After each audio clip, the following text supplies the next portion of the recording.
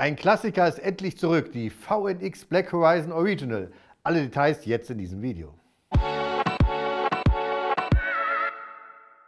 Wer die optimale Heimkino-Bildqualität in einem Wohnzimmerkino anstrebt, der kommt um eine spezielle Kontrastleinwand eigentlich nicht herum. Denn nur so eine Kontrastleinwand ist in der Lage, das Streulicht des Raumes zu filtern und nur das pure Bild in Richtung Zuschauer zu reflektieren.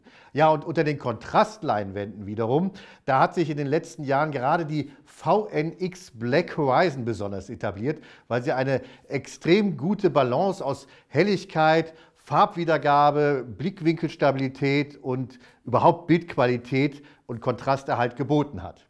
Ähm, vor zwei Jahren allerdings wurde die VNX Black Horizon dann überarbeitet. Sie wurde noch universeller gemacht, sie wurde noch was heller gemacht und hat das Licht noch besser gebündelt. Und dadurch wurde sie auch wesentlich tauglicher noch für die Projektion tagsüber mit verschiedenen Quellen wie Fernsehmaterial, Videospiele und so weiter und so fort. Und damit wurde die, äh, die Erfolgsgeschichte der VNX Black Horizon auch weitergeführt. Aber diese Bright TV-Variante war, wie gesagt, mehr universell einsetzbar und die gerade die Fans von Spielfilmen und Serien, wo ja die Gewichtung ein bisschen anders liegt, die haben der Black Horizon Original, die dann äh, aus dem Programm genommen wurde, hinterhergetrauert. Ja, aber jetzt ist es soweit, die ganzen äh, Wünsche der Filmfans wurden erhört und die Black Horizon ist wieder da in der Original-Form, allerdings tatsächlich noch im Detail verbessert. Und das schauen wir uns jetzt nochmal im Detail auch an.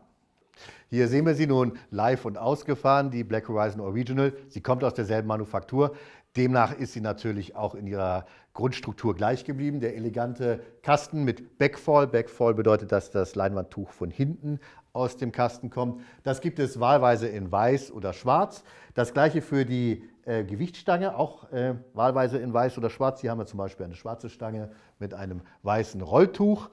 Ja, dann das Tuch selber, das wurde tatsächlich nochmal verbessert. In den optischen Eigenschaften ist es identisch zu Original, aber es wurde deutlich dicker gemacht, stabiler gemacht und auch das Tension-System angepasst. Auch das gibt es übrigens in verschiedenen Farben, das äh, Spanntuch. Und dadurch ähm, wird das Tuch äh, nicht nur stabiler, sondern auch diese berühmten Wickelrollenstreifen, also diese leichten horizontalen Abdrücke von der Walze, wenn man das Tuch herunterfährt, das äh, wird damit deutlich minimiert. Wir haben das eben auch mal ausprobiert. Das ähm, Tuch war eine ganze Zeit eingerollt und auch relativ kühl hier in unserem äh, Filmraum zuerst. Und als man das runterfuhr, äh, das Tuch, waren am Anfang leichte Wickelrollenstreifen zu sehen. Und die sind tatsächlich jetzt nach einer Stunde komplett verschwunden. Das ist also tatsächlich sehr schön mit dem stabilen äh, und dickeren Tuch.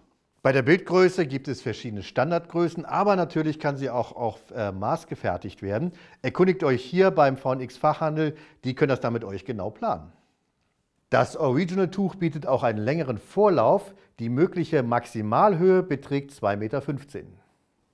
Jetzt kommen wir schließlich zur Bildqualität. Was macht die Black Horizon Original denn im Detail jetzt genau anders als die Black Horizon Bright TV?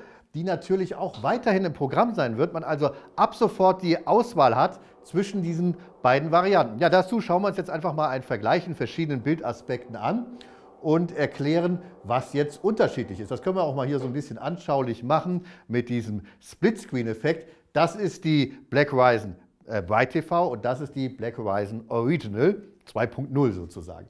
Ja, schon auf den ersten Blick, auch in diesem äh, YouTube-Video wird man sehen, dass die Bright TV ihrem Namen entsprechend heller ist. Sie hat ein Gen von 1,2. Das bedeutet, dass sie das Beamer-Bild ähm, tatsächlich um 20 Prozent heller macht. Sie holt da etwas mehr Licht raus, indem sie das Bild Richtung Zuschauer bündelt. Ja, und die Black Horizon Original, die liegt mit dem offiziellen Gain bei 1,0. Wir haben das ja natürlich mal nachgemessen. Real unter ähm, also realistischen Gesichtspunkten liegt sie ungefähr bei 0,9, aber sehr nah an dem neutralen weißen Tuch, das ja auch ein Gain von 1,0 hat. Das heißt, diese Leinwand gibt die Beamer-Helligkeit ungefiltert ähm, äh, wieder zurück, ohne es zu pushen oder auch stark zu minimieren. Das hellere Bild ist natürlich auch in helleren Räumen tagsüber besser zu benutzen. Wenn man also tagsüber auch Serien schauen will, Fernsehen schauen will oder auch äh, Videospiele schauen will, dann ist die Bright TV deshalb heißt sie auch TV, Bright TV, ähm, einfach universeller einsetzbar. Wiederum, wenn man abends unter kontrollierten Lichtbedingungen ohne Sonnenlicht Spielfilme genießen will, vielleicht auch bei Abdunklung, da eignet sich dann die Original, weil sie eben da ganz neutral sich verhält und das ist gerade bei Spielfilmen und hochwertigen Serien sehr von Vorteil, weil das Bild einfach dann diesen richtigen Charakter erhält. Und weil die Leinwand natürlich vom Gen neutraler ist, ist auch ihr Schwarzwert dunkler, denn ähm, wenn eine Leinwand obenrum etwas heller wird, wird auch der Schwarzwert etwas gebündelt und heller.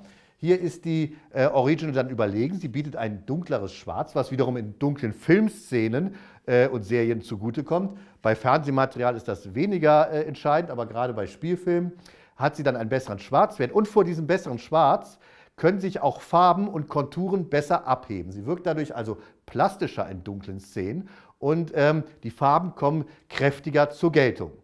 Ja, und last but not least, durch die geringere Streuung ist sie auch in Sachen Blickwinkelstabilität etwas besser. Das heißt, wenn man etwas abseits vom Zentrum sitzt, hat man ähm, noch mehr Helligkeit, als das bei der Bright TV ist, wo der Sichtwinkel ein bisschen mehr eingeschränkt ist.